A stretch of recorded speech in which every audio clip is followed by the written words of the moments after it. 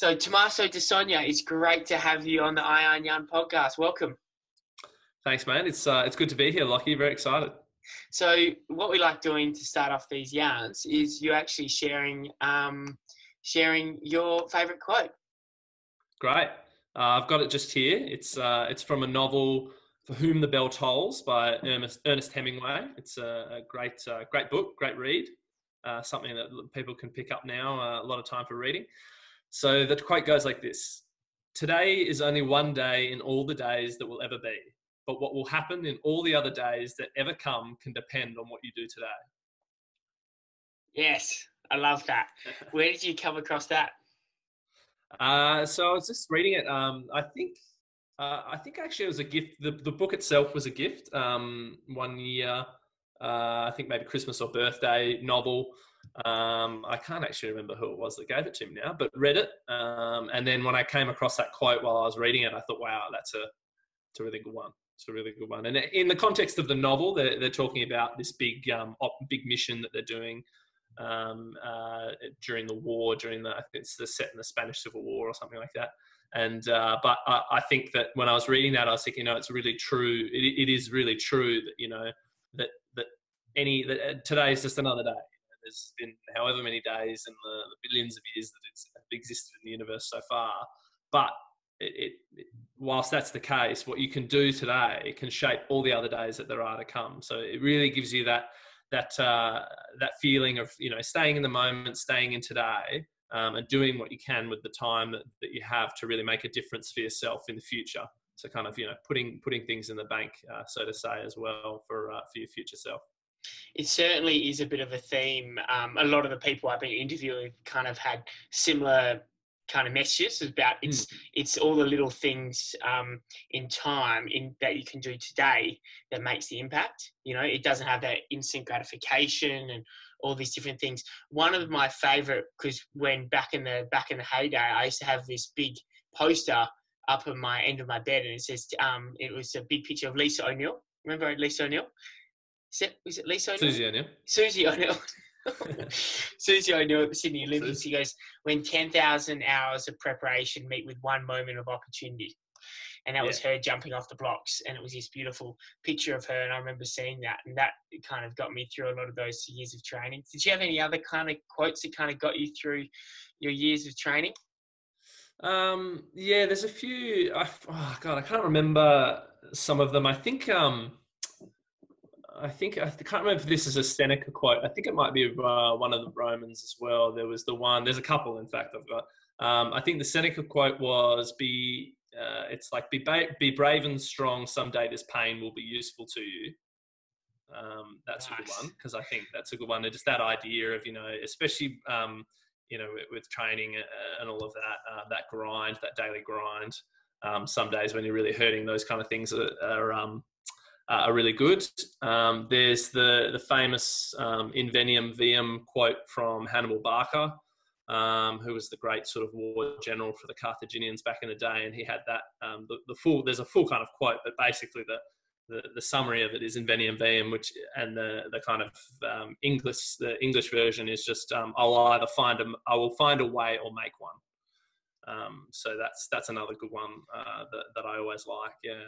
Oh, mate, that is my morning motivation here with Fasting Sonia. that is fantastic. Well, I, I, got a book of them.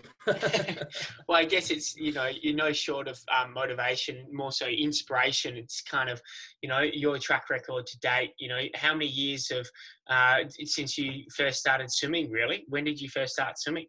Um, well, geez, I mean, I, I, first jumped in the water by myself uh, probably from from the age of about two years old. I was jumping in the pool um, and, and splashing about. Uh, age of two, sorry, yeah, jumping in the pool and, and splashing about, and then um, you know started sort of the club stuff around nine, ten years old. That was sort of the the, the club sort of things and, and racing and stuff. Uh, fell in love with with the racing, uh, competing, and, and all of that. Uh, started to get into state champs, sort of junior states at, at, about 11, 12, then, you know, nationals at 13, national age stuff for a couple of years, and then building towards open nationals at 16, 17, 18, and then, um, yeah, and then first national team at, at 18 in uh, 2009. Wow. And, um, a full sort of yeah, good good eight years there between 2009 and 2016 on the on the Australian swim team, and yeah, that was uh, that that was the journey there, and yeah, still still swimming at the moment, but not uh, certainly not at that level anymore. I think it's quite interesting just for a lot of people who don't really get what um, is required to be an Olympic athlete and a national, you know, representative really, let alone Olympic. Um, that journey from that age of when you're 11, first starting with states and those things, you know, you'd be training, you know, you should be doing four or five sessions a week, yeah? Uh, yeah, so back back then, um, you know, sort of 11, 12 was at least three swim sessions. I think 13, 14 was when I moved up to about five. Yeah. Uh, swim sessions a week. And then uh, sort of 16, 17 was six, seven sessions. And then it was when I hit 18, um, well, I was still 17 technically when I moved, uh, I moved to Canberra to the AIS. That was when I first started the full sort of 10 swimming sessions a week, three gym sessions, you know, dry land, all that kind of stuff. The the sort of more more typical thirty hours or so of uh, of training that, that Olympic athletes do a week. Wow, 30 hours of training a week. So I'd love to kind of hear your journey, um, you know, and I guess, you know, for people who don't know Tommaso's story, you were successful in getting to the London 2012 Olympics and you were in the, and got a bronze medal as well, which is yes, pretty, yeah. Pretty bloody special, mate. And I want to hear a bit more about that specific experience. But, you know, there's a fair few years of grinding when you were like, you finished school, Christchurch Grammar School, captain of swimming, school prefect, but also you were weren't just a, school prefect. You also got a serious, um, you know, uh, end of end of year TE result. Yeah, you got what was your score? Oh, the odd. Uh, I was fortunate enough to be a part of the the 99 club, as they call it. Yeah, just yeah. scraped in. Uh, I got a, a, 99 flat on uh, on on my ATAR. So top one uh, yeah. of the state, which is pretty good um, and then that kind of really set you up to you know be able to get in do anything you wanted was it always because uh, medicine or was it law was it anything else um, yeah i mean it, it, had been medicine i suppose for really, really the whole way i suppose that was the, the consistent one um, you know i'd been exposed to it from a relatively young age my dad um, obviously being a very successful pediatric cardiologist um, I, would seen, you know, his his life and and that sort of inspired me as well in terms of his profession. I kind of knew what medicine was about, um, even from a relatively young age. So, and and it, it attracted me then, um, and it still obviously attracts uh, attracts me now, and, and, now that I'm in my final year of study. Um, but um, yeah, it, you know, different things popped in and out. Um, I enjoyed, uh, you know, I, I enjoyed um, law and, and that uh, when I did a bit of mock trials in, in year 12, year 11 and 12 back in high school and uh, all those sorts of things. You know, science has always been something that I've really enjoyed.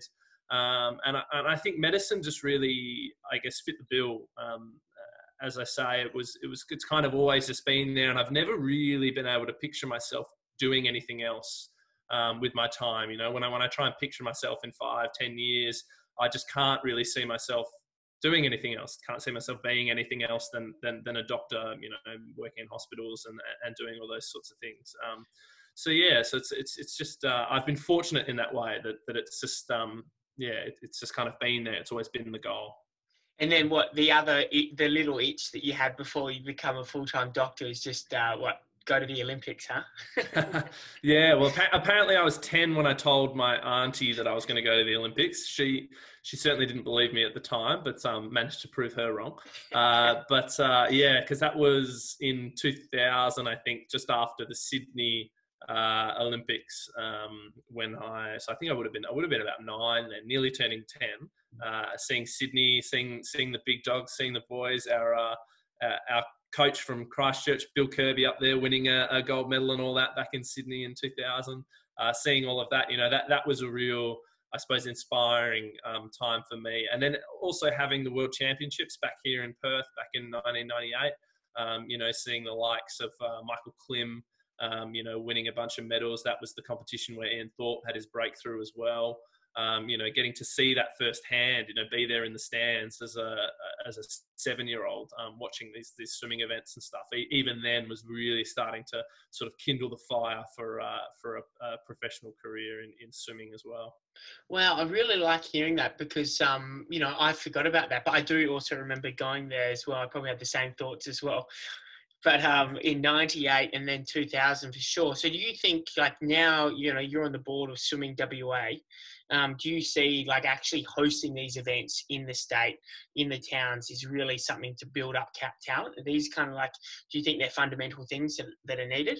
Yeah, for sure. I mean, the, I know that from my experience, at least, uh, or, or, what the evidence seems to suggest is, um, you know, that, that, there's very little, um, there seems to be very little link between um, sort of that grassroots participation and sort of elite level success.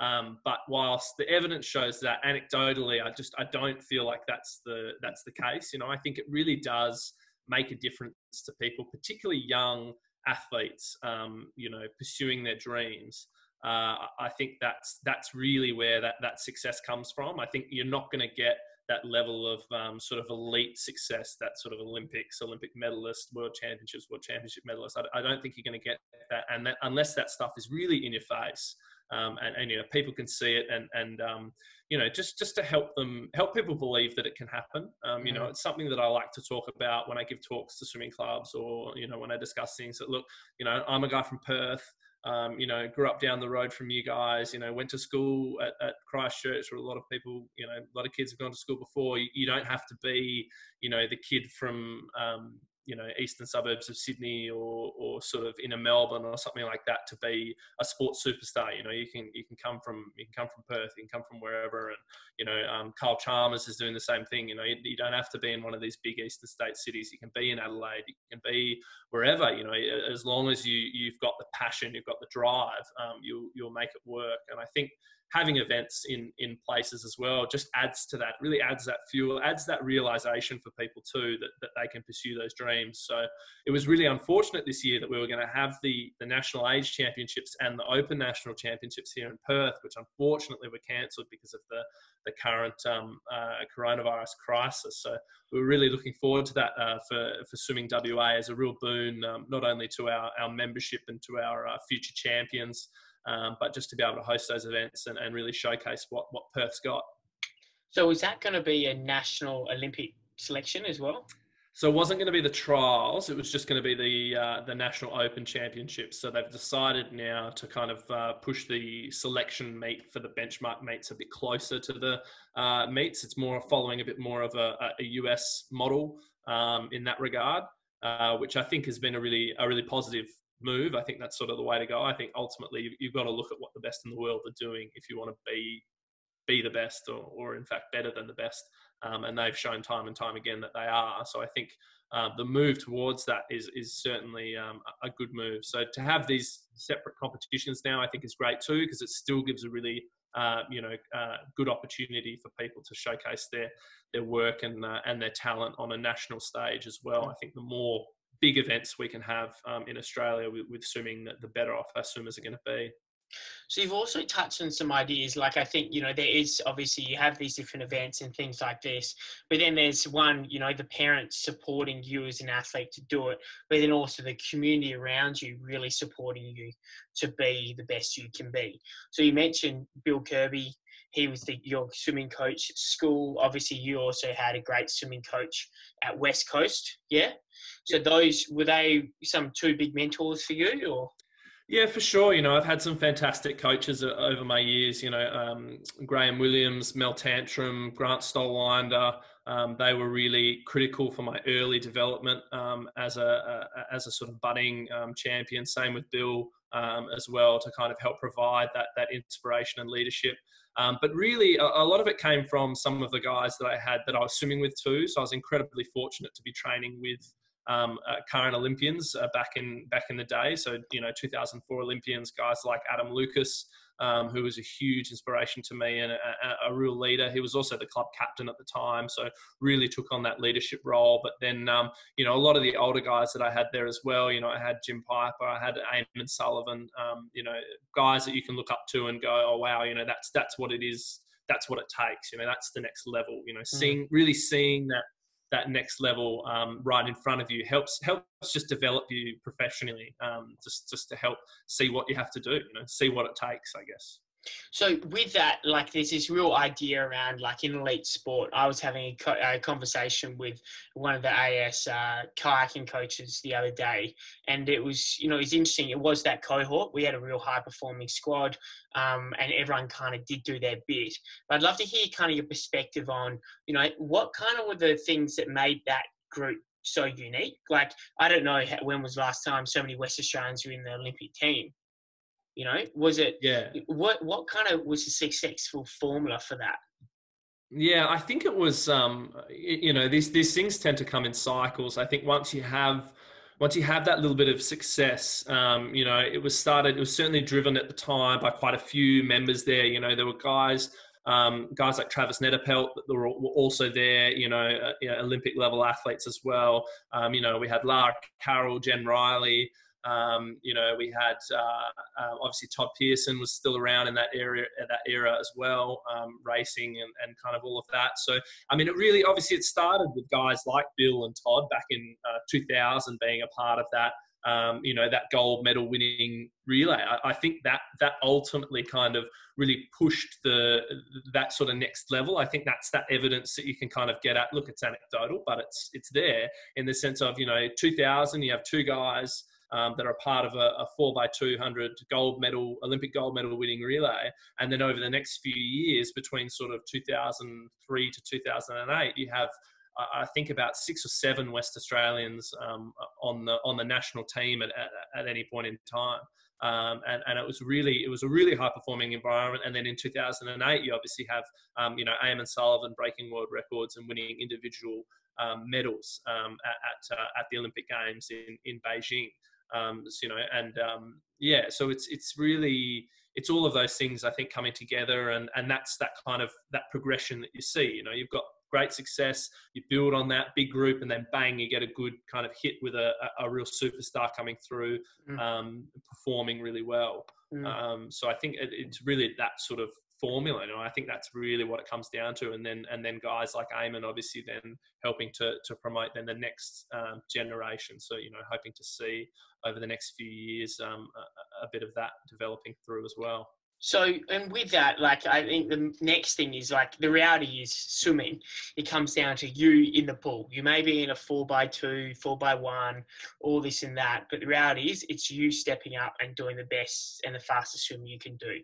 So, you know, and and with that in mind, like, you know, putting in 30 hours of, of training every week, week after week. I remember over Christmas periods, times, you know, Christmas Day, you'd be going for a swim, cheeky swim, probably before and a bit, some sort of light activity in the afternoon on Christmas Day to kind of keep that conditioning and keeping that peak performance in the prep for nationals and in the, the world championship teams and all that. So, you know, I guess it's kind of second to your quote that you mentioned earlier, but, you know, is it just, um, you know, for young people who are kind of like on this tipping point who may be listening in now, it's like, you know, how is is it is it respect? Because there's a bunch of different ways. Respect is it res- do you just have complete unwavering faith in your coach and just following the program? You get the work done you'll get the results. Is that kind of the way how you did it or is it kind of at and then uh, is it is it at a certain point where you need to start being a bit more intuitive in yourself and going I like that what he's saying, but I don't like that. I'm going to shift this, this, that, and the other, because I think that's like the double-edged sword. If you're young, going hard, you just head down, bum up, get the work done, do what the coach does. But then you get a little bit older, a little bit wiser, and you start picking and choosing what works for you. Is that was is that kind of the case for you? Or? Yeah, so I mean, I think it's um, I think like you say, I think age really, age and experience kind of fall into that a little bit. So you you kind of I think when, when you're a bit younger, it is a little bit more of a, a sort of you know just do what you need to do. You know, do the work, listen to the coach. At that time, they're the one with the experience. They know how things kind of work, um, and you're still trying to find your feet. Um, you know, and one one way to do that is is to sort of just experience things. You know, work hard. You know, work your ass off, kind of thing, and and see how you go with that um, see how you go with the work. But the important thing is to then reevaluate. So you need to be looking critically at what you're doing. Um, obviously, when you're younger, you don't have the experience to be able to go. um, you know, oh, well, this worked, this worked, this didn't until you're a bit older.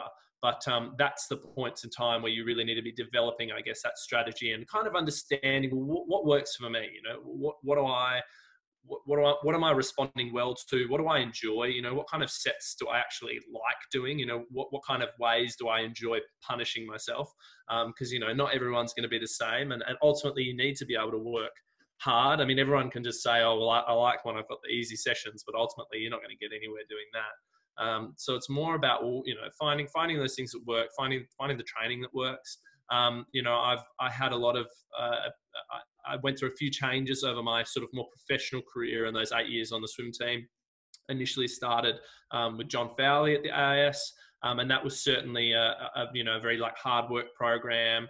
Um, more, I guess, directed, um, more directed by the coach. Then I moved to Tracey Menzies, which became a bit more collaborative, um, a bit more flexibility there um, as I was a bit older, I'd been, um, you know, been on a few teams, was starting to kind of develop um, myself as a, as a professional athlete in that way. Um, and then towards the end of my career, um, moving to, you know, moving to uh, Simon Cusack as well, who had a different sort of approach and an approach that I suppose I had found I was um, uh, feeling would, would work well for me. So then, you know, kind of changing coach on, on the context of look, someone's doing that over there that looks like what I want to do. Um, so falling then into that program, and then finally towards the very end of my career with Ashley Callus, who was uh, you know another 2000 Sydney Olympic gold medal winning co- uh, gold medal gold medal winning swimmer um, and great coach as well. And again, moving to that very collaborative sort of well, look. This is this is how I, I think this will work, um, and then a, a, a much more um, much more of a partnership there in that sort of last phase when I was a, quite a bit older. Um, you know, I mean, I say quite a bit older, but ultimately I was what 25, I think, at the at the time. So it's not even that that old really when you think about it. But you know, on my eighth eighth year of being a, a member of the Australian swim team, so when you look at it in that context, certainly um, a, a, lot more experience there. And then that worked, you know, really well as well. Um, so I, I, had great success with all four um, of those coaches over, over, the course of my career um, in various ways. So they all work, um, but just in different ways. Um, and I think that's that's the challenge ultimately. And and you know that's where things like this kind these kinds of conversations help.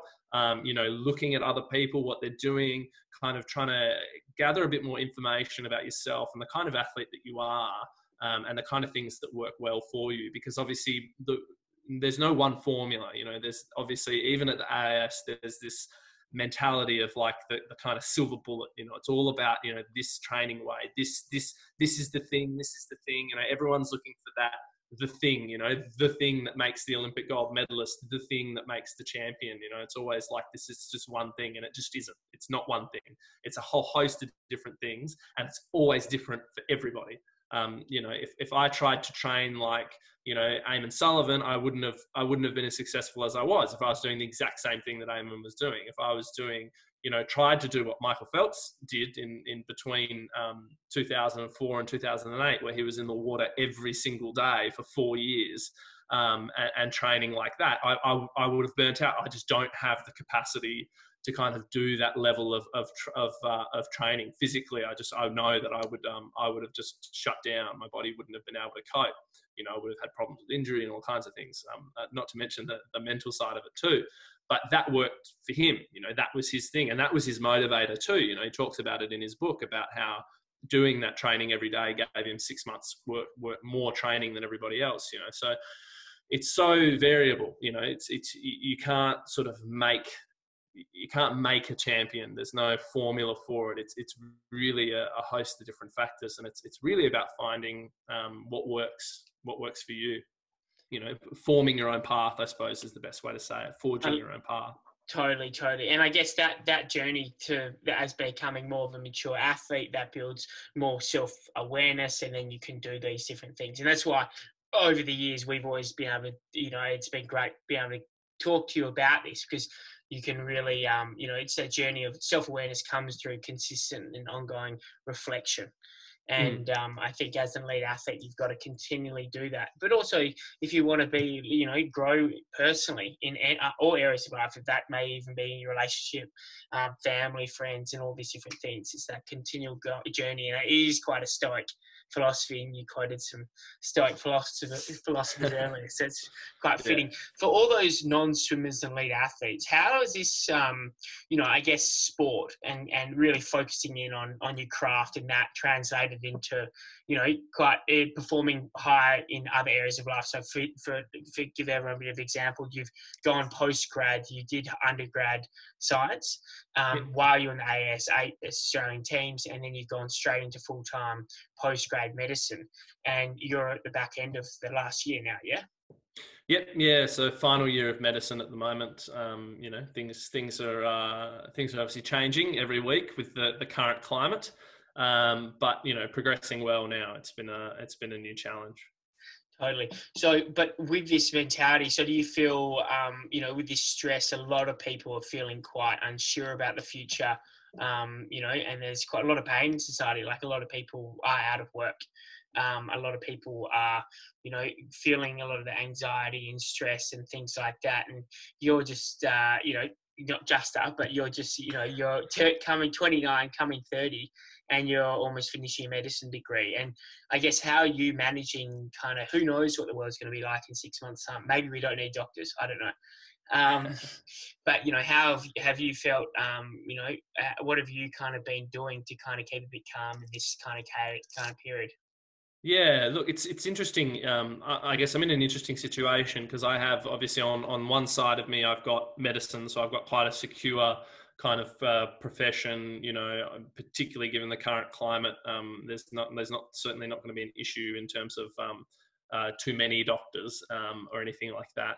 Uh, so you know, uh, I'm looking forward to obviously uh, uh, my my job prospects are actually better given the current environment. I may actually get graduated early and, and start working earlier than than what I would normally. Um, but then on the other side, obviously being being on the board of um, of Swimming WA of, of a sporting organisation that obviously relies heavily on members and pools being open and all that kind of side.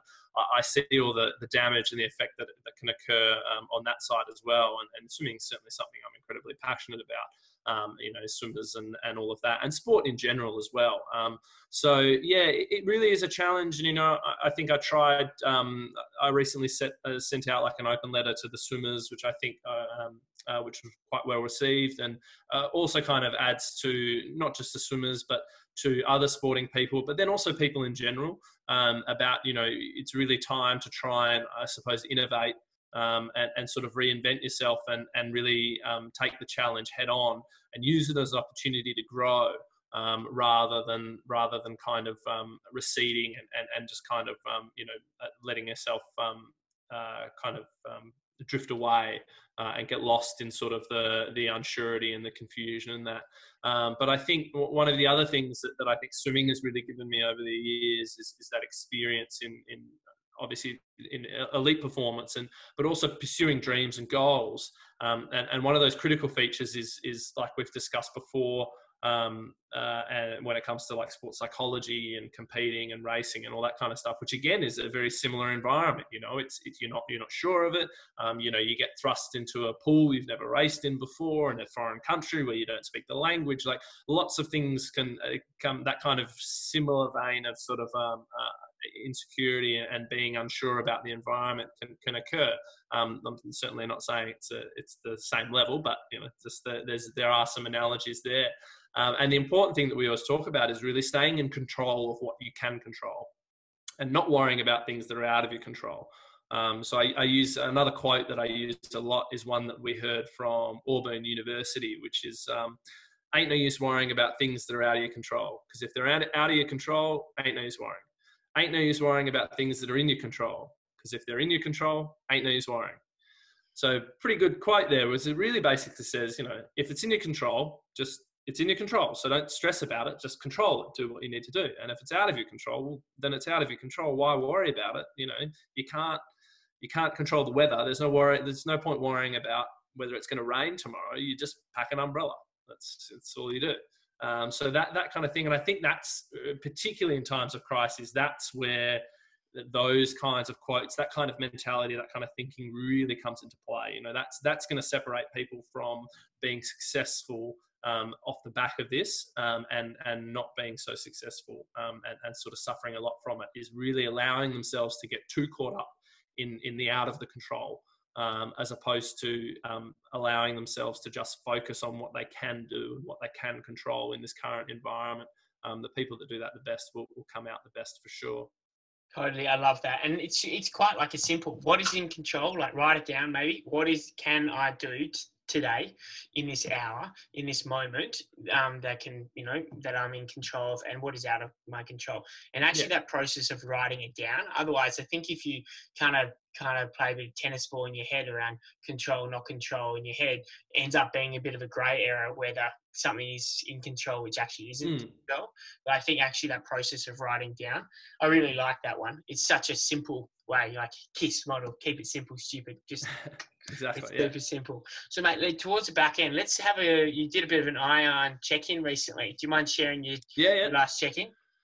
Yep. Uh, let's see. So you, uh, while you're up. opening that up, um, I might just mention about the. Um, so you also attended the um, the most recent or the the North Cott event um, where we had our first suicide prevention day. We did a bit of a celebrate, oh, like celebration, a bit of a World Mental Health Day event at the Surf Club. And since you are a member down there, you attended and you know said a few words. And uh, uh you know, and obviously here is your most recent uh, and you'll be able to see this on the YouTube if you're listening in. Um, yep. But do you mind just running through? You've uh, created a, a March iyarn, yeah?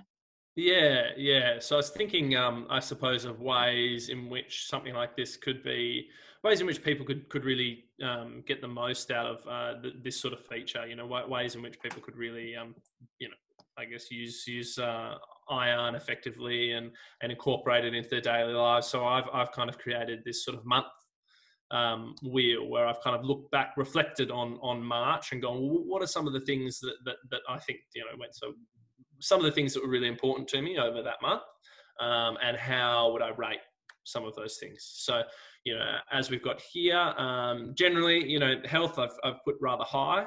Um, you know, 8.2, I think I did a pretty good job taking care of myself. I didn't get sick, didn't get injured or anything like that.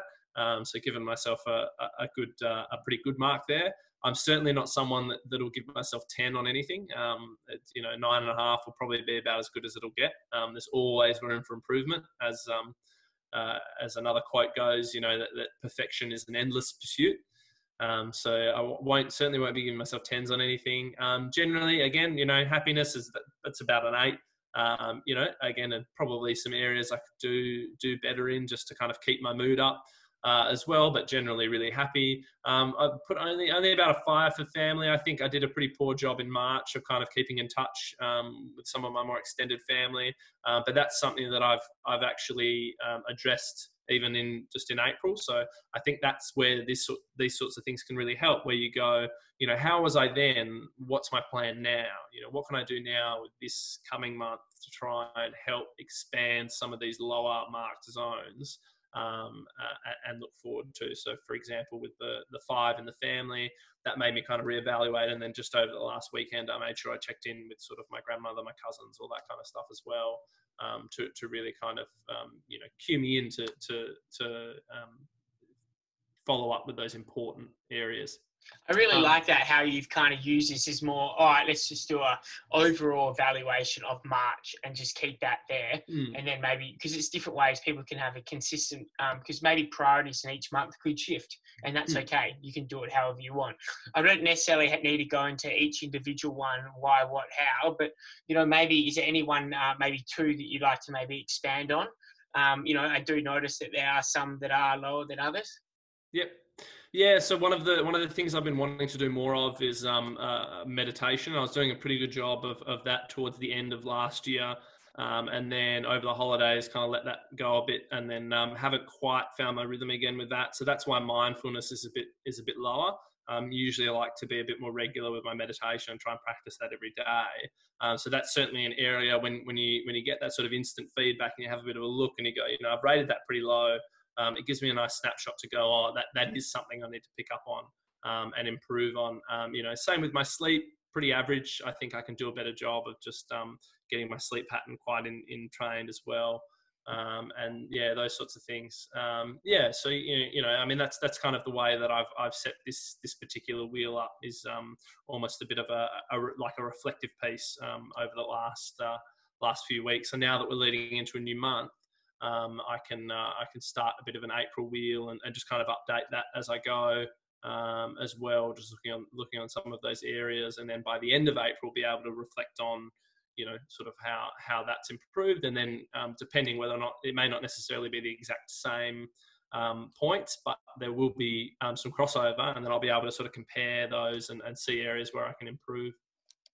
Great. Well, what we're looking at doing, um, thanks for sharing that. And a big part of, you know, doing iyarn is about being, you know, a bit vulnerable. And I do see you put, you know, right, it, you know, mindfulness is quite low. And, you know, a lot of people in this time are feeling quite, um, you know, vulnerable. I guess yourself, you've got a lot of resilience in there, but you know, obviously it is quite, you know, it's going to put the swimming WA back a little bit with these pools being closed and things like that. Um, great. Well, I love it. And so do you see this with your medical kind of background as being a useful tool, you know, as part of, um, you know, a patient care system or something like that. Like, obviously, you're one of the most, the freshest waves of medical students coming through. You know, where do you find this process of reflection um, is powerful for, you know, I remember being in the bed and saying, give me a score out of 10 for pain, or give me a score, you know, these kind of things, you get those assessments. But, you know, could you see that something like this could be useful in some of those cases?